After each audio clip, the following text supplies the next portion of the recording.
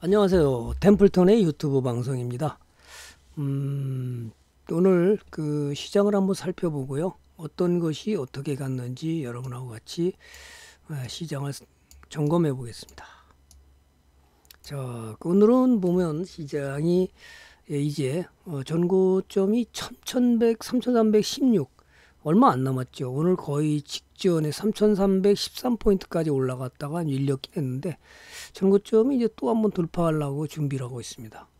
미국은 그 독립기념일 7월 4일이라 어제 장이 열리질 않았고요.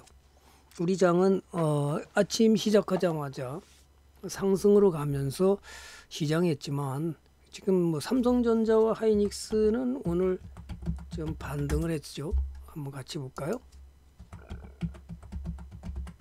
나머지 종목들은 그렇게 강세를 벌리진 않는데요. 삼성전자가 음, 이번에 12조를 달성할 것이냐 내일 실적 발표를 하죠. 내일 실적 발표를 하는데 2분기 실적 발표가 어떻게 나올지 뭐 11조를 넘을 것이다. 근데 과연 12조가 넘냐 이런 얘기가 나오고 있고요. 또 하나가 이제 그 뭐가 있냐면 하이닉스를 한번 보겠습니다.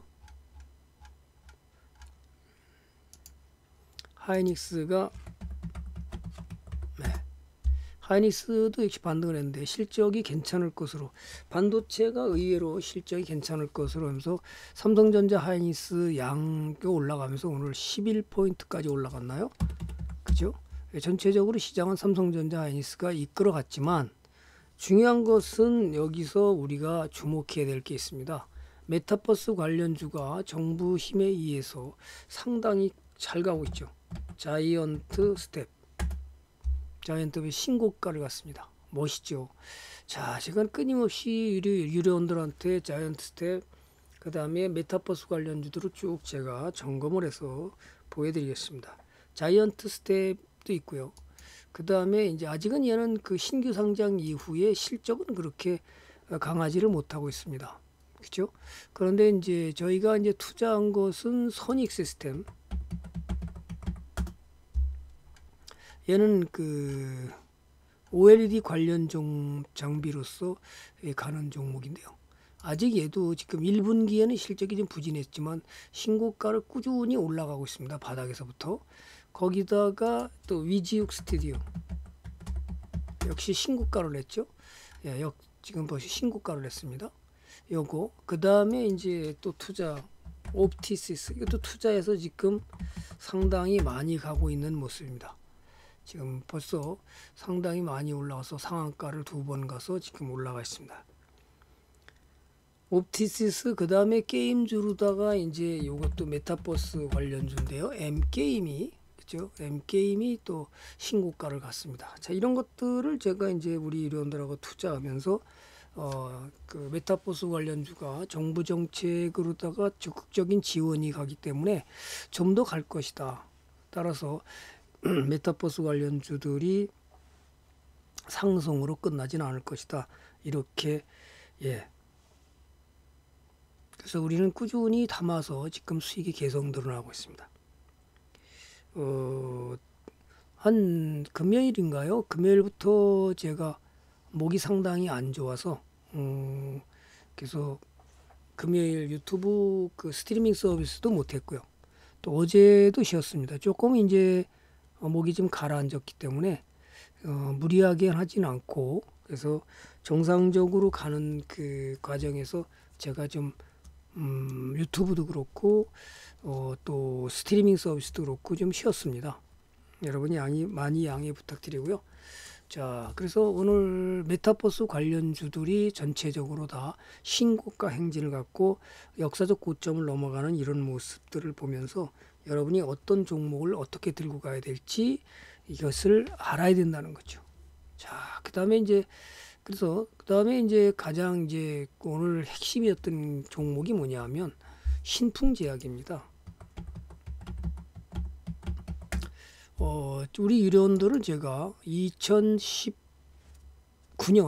12월 24일부터 투자를 해서 2800%까지 갔습니다.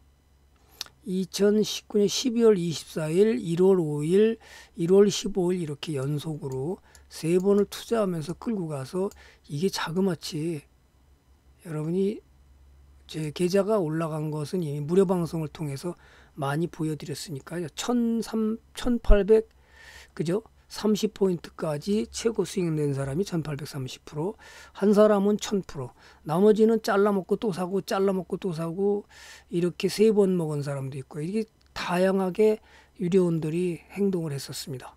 그렇지만 우리는 여기서 이미 매도를 강요해가고서 더 이상은 보지 마라. 제가 이랬던 겁니다. 유료원들.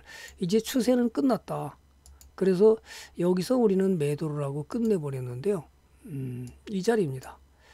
끝내버렸습니다. 이 추세가 여기서부터 그죠? 60일 추세가 꺾이는 걸 보고 우리는 매도로 나가면서 결국은 끝내버렸는데 지금 이제 문제가 생겼죠. 코로나 치료제 임상 악재가 오늘 하한가를 만들었습니다. 그래서 이게 여러분이 하한가가 가든 안 가든 이미 벌써 여기서 나갈 때 이 차트는 여기서 끝난 겁니다. 이것을 매도할 수 있어야 되는데 매도하지 못하고 자꾸 뭐 임상이 간다 삼상 간다 그래갖고 자꾸 투자한 사람들은 갖고 있다가 오늘 드디어 이제 마지막 종착역을 타게 된 겁니다. 지금 그죠 우리 유리원들은 다 여기서 팔고 나왔습니다. 자, 더 이상은 뒤에서는 만지지 말라 이렇게 뜬 것이 지금 오늘 하루만으로 고점에서부터 지금 70%가 하락했죠. 여기까지 신저가를 깬 겁니다. 그죠? 신저가 아마 내일은 또 신저가를 또 깨겠죠. 자, 이게 추세가 하락하면서 가장 문제가 된 것이 올해만 3,500억을 순매수한 개인들은 손실이 엄청나게 클 겁니다. 또 몰빵한 투자자들이 상당히 많은 것으로 알고 있고요. 팔라고 해도 말을 안 듣고 우리 유료원들도 자기 동료들 뭐 직장 동료들이라든지 이런 그 분들이 신풍지약을 먹겠다고 자꾸 들어갔다는데요. 참 이렇게 되면 곤란한 상황이 벌어지죠. 자, 그럼 내일도 또 하락할 건데요. 비 신종 코로나 바이러스 감염증 피라맥스가 임상 이상 시험 결과에서 유의성을 확보하지 못했다는 소식에서 신풍제약 주가가 하한가를 기록합니다. 하루에 날라간 시가 총액만 1조 5천억, 개인 투자대 손실액은 7천억을 넘을 것으로 추산된다. 이렇게 밝혔습니다.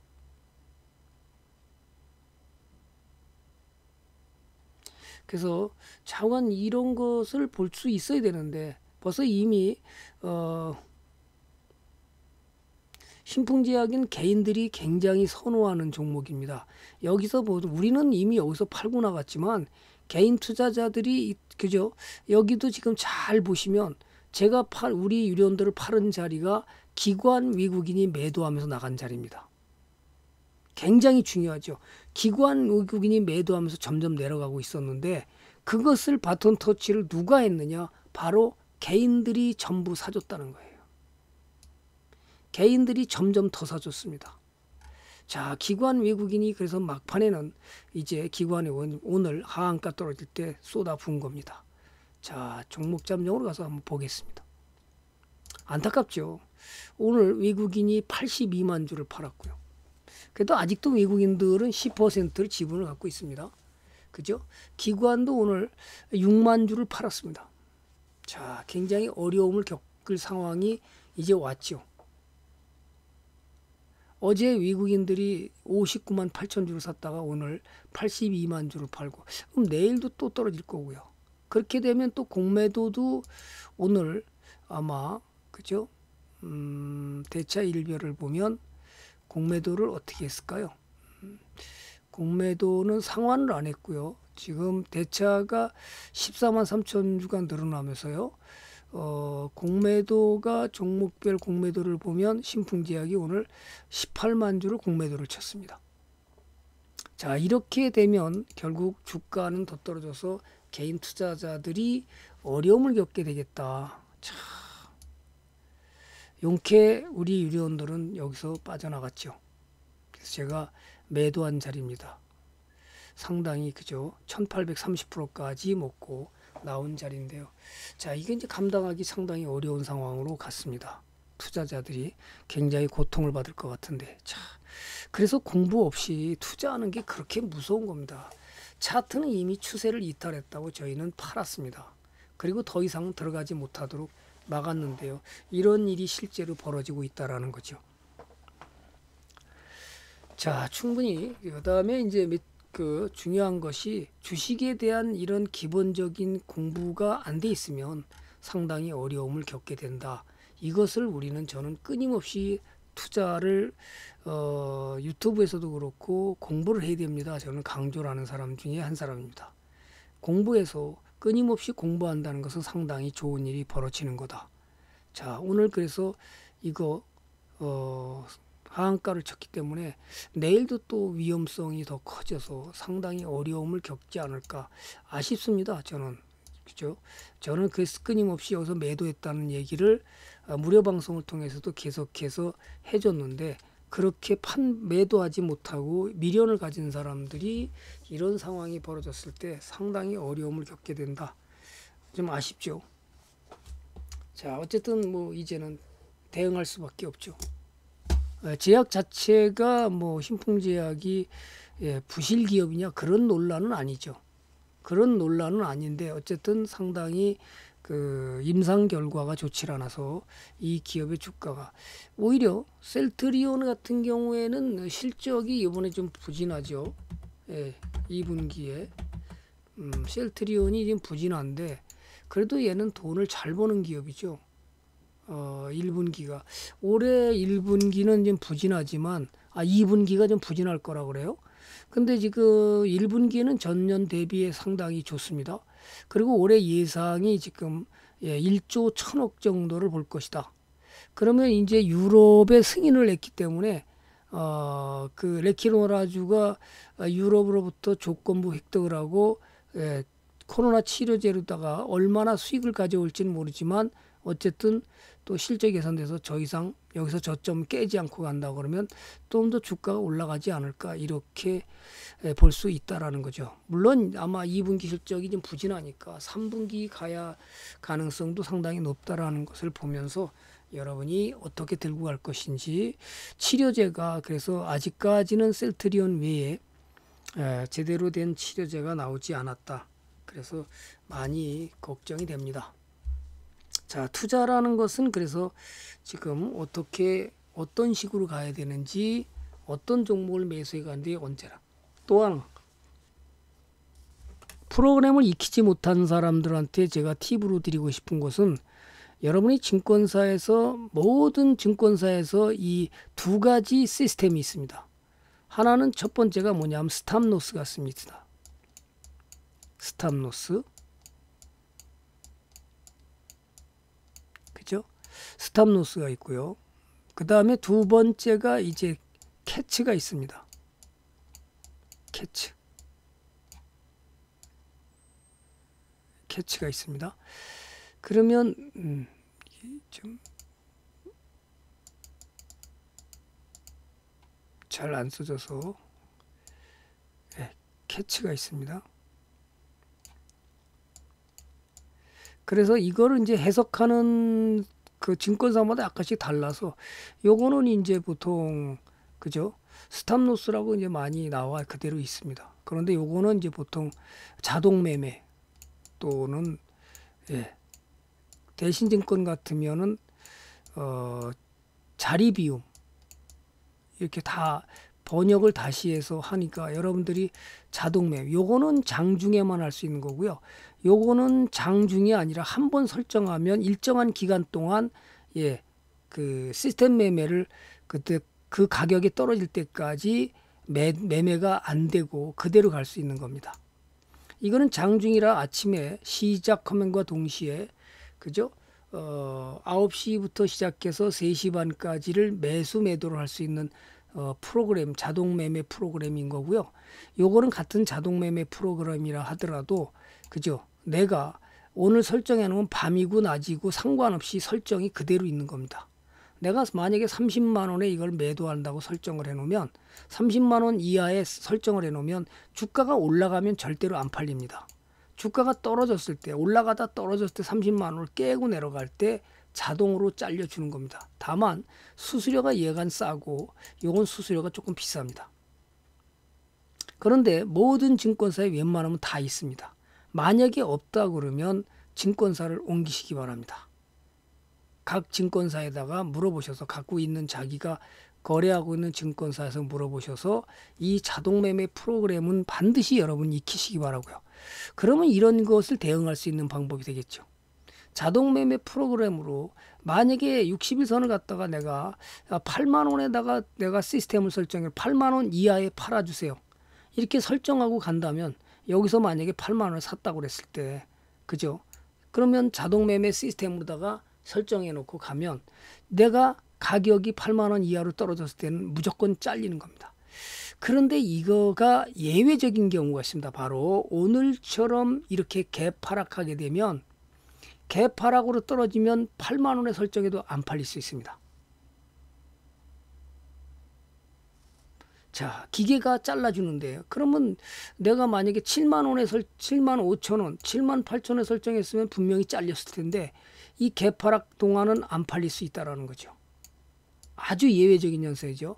정상적인 하락할 때는 잘리지만 개파락할 때는 잘리지 않는다는 거. 이걸 여러분들이 그래서 증권사에서는 이것이 절대적일 수는 없습니다. 이렇게 그 뭐죠? 투자자들한테 알려주고 있습니다. 그럼 여러분들이 이런 자동 매매 시스템을 여러분이 구축하고 간다면 투자자들이 그죠 전문가들이 말하는 목표가 손절가를 그죠 자동으로 설정할 수 있으니까 손절가를 문자를 받고 여러분이 대응한다면 이미 벌써 늦습니다. 이 이미 그럼 몇 시에 이게 어떻게 됐는지 5분봉을 보겠습니다. 그러면 이 아침부터 개파락으로 떨어졌다가 줄줄줄줄 하겠다가 그죠 하한가를 친 겁니다. 그러면 여러분이 이걸 갖다가 그죠 손절가를 정해놓고 문자가 날라오면 벌써 늦어요. 시스템으로 다 딱 7만 5천 원 딱 설정해놨더니 알아서 자동으로 잘리는 겁니다.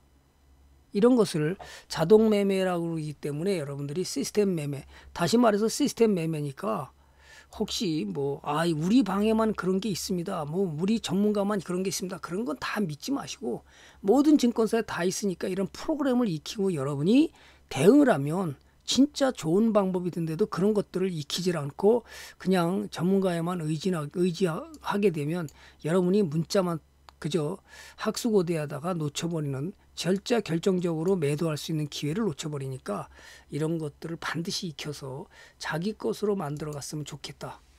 유료 방송에서 늘 강의를 하지만 무료 회원들한테는 처음으로 이걸 자세히 설명한 거고 가끔 어쩌다 한 번씩은 얘기는 했는데 여러분들이 이것을 활용을 잘하게 되면 오히려 그 시스템 매매라기 때문에 매 손절가 매수가 뭐 이런 거 대응할 필요도 없습니다. 그냥 목표 뭐 뭐 문자가 날라올 기다릴 필요도 없습니다. 여러분이 그냥 설정해 놓고 가시면 자동으로 그냥 잘라주는 거고 또 수익 낸 것도 마찬가지 그렇게 할 수 있는 겁니다. 그런데 멀리 가는 수익, 큰 수익을 내기 위해서는 때에 따라서 좋은 종목이 우상향하면 예를 들어서 카카오 같이 우상향할 때는 함부로 그죠? 자르면 안 되겠죠. 이런 것들은 우상향을 계속해서 가고 있으니까 그죠? 이런 것을 만약에 자동 매매로다가 팔하게 되면 큰 수익 내지 못하기 때문에 정배열로 가는 한 끝까지 몰고 늘어져라. 역배열 나올 때까지 가보라. 그래야 여러분의 수익은 커진다는 거 절대로 잊지 않았으면 좋겠습니다. 자 어쨌든 어, 오늘은 제가 어, 좀 목이 회복되면서 여러분들한테 팁을 준 거고 메타버스 관련주들이 아직도 가고 있기 때문에 여러분들은 어떤 종목을 매수해서 갈지 고민을 해보라. 기업 가치를 평가해보고 어떻게 할지. 아마 제가 기업 가치를 평가하는 것을 조금 자세하게 상세하게 아마 설명할 수 있는 무료 방송에서 공개할 수 있도록 제가 한번 또 해보겠습니다. 어쨌든 내일은 제가 어, 무료 방송 준비하느라 정신이 없어서 두 개를 준비하고 있습니다. 그래서 어, X1과 투고를 두 개를 준비하기 때문에 시간이 없어서 내일 유튜브는 쉬기로 하고요. 오늘 유튜브를 통해서 여러분들의 메타버스가 어떻게 가고 있는지 어떤 종목이 가고 있는지 좋은 종목을 들고 가면 어떤 수익을 내는지 이런 걸 정부 정책과 함께 같이 대항하지 말고 합세해서 수익을 더 크게 가져가는 전략을 갔으면 좋겠고요.